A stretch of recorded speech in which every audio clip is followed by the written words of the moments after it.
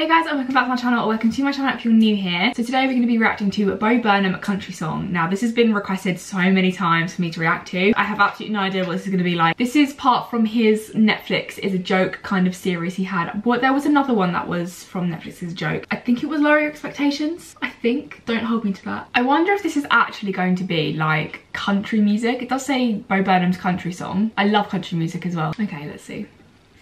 Any big fans of country music out there? Yeah. Oh, some people extending my name. Boo. That's also approval. I, I think. I Is think it though? Music gets a bad rep. You know, why is it that when Bruce Springsteen sings about a fucking turnpike, it is art, and then when someone sings about a horse, it's dumb inherently? I don't think. I think some of the greatest songwriters of all time are country artists, Dolly Parton, Willie Nelson, you know? And if you're writing honestly, that is art, and I would never bash that. Um, the problem is, with a lot of modern country music, what, what is called stadium country music, the sort of Keith Urban brand of country music, is that it is not honest. It is the exact opposite of honest. Where instead of people actually telling their stories, you got a bunch of millionaire metrosexuals who've never done a hard day's work in their lives, but they figured out the words and the phrases they can The use accent to to their audience, and they list the same words and phrases off sort of Mad Lib style in every song, raking in millions of dollars from actual working class people. You know the words, you know the phrases, phrases like a dirt road, a cold beer, a blue jeans, a red pickup, a rural noun, simple adjective. No shoes, no shirt, no Jews. You didn't hear that. Sort of a mental typo. I have a few of walk them. and talk like a field hand, but the boots I'm wearing cost three grand. I write songs about riding tractors from the comfort of a private jet. I could sing in Mandarin, you'd still know I'm pandering. Hunting deer, chasing trout, a Bud Light with the logo facing out. Hear that subtle mandolin? That's textbook pandering. I own a private ranch that I rarely use. I don't like dirt. One verse, one chorus in the bag. Now it's time to talk to the ladies. I'm hoping my southern charm offsets all these rapey vibes I'm putting out.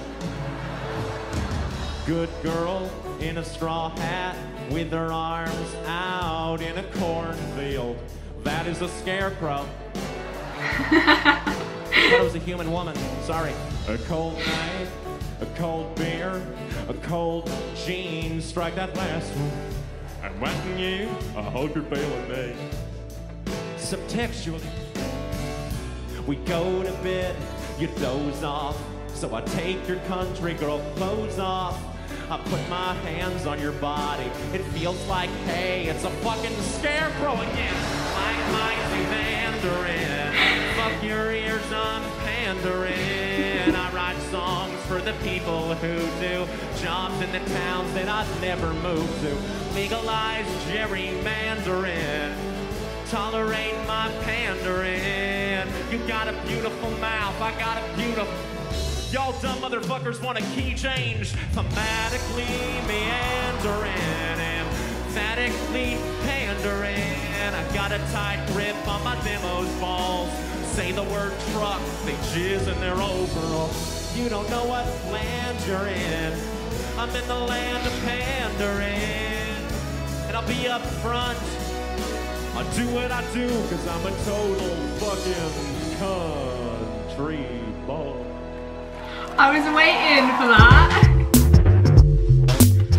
Okay, I think that has just become my new favourite Bo Burnham song, guys. That was so funny. I love that. I loved everything about that. The little jokes, the whole accent thing, the whole vibe of it. Oh my god, it was just so, so, so good. Like I said, new favourite Bo Burnham song. That, oh my god, that's really, really impressed me. He's just so funny. I just, I love Bo Burnham so much. The fact that he can turn his comedy into a song, I just, I think it's so good. And even though his songs are so funny and obviously some of them are really meaningful, I just, I love how he can turn them actually into music and make them songs that you could actually listen to. He can actually sing, like he's got a good voice. It's just, it's so good and you press his beat every single time. It's so funny with the whole scarecrow thing. I would love to go see him perform. You would just be laughing your head off the whole time. I think he'd just be such a great person to watch perform. I really hope that you guys enjoyed this video. Please don't forget to give it a big thumbs up if you did and don't forget to subscribe down below if you're not already. Let me know down below if there's anyone else that you want me to react to or any new songs or anything. Don't forget to go follow me on all my social medias. It's just Amy Jane Ketley and I shall see you guys in my next video. Bye!